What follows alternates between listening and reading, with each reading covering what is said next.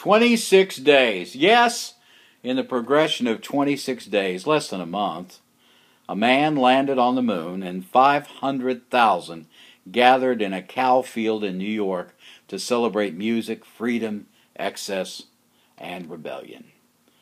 Arguably, it may be two of the most significant events of that generation.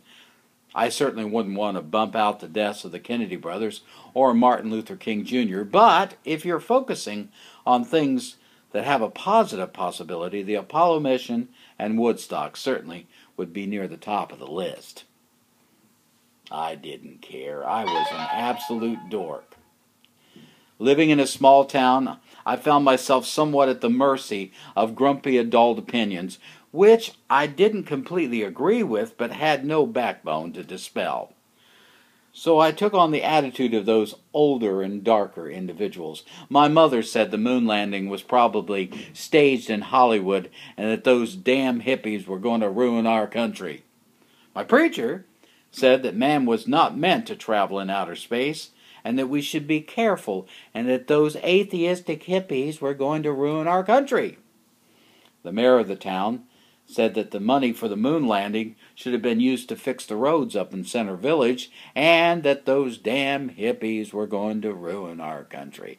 You can see that they felt the moon landing was loony and they were basically prepared to damn all hippies. On top of my fear of all adults and those inherent prejudices, shall we call them, I had also discovered my own hormones. Having met Bikini Girl, I was beginning to consider what romantic adventures I desired to pursue with the next date, which would get me a little further down the road to experience without placing me in trouble with peering eyes of critical townsfolk. So they landed on the moon, and I yawned. They met together at Woodstock to rock and roll, and I slept through it. It was the curse of the times. There were a few people looking ahead, and the rest of us were looking down.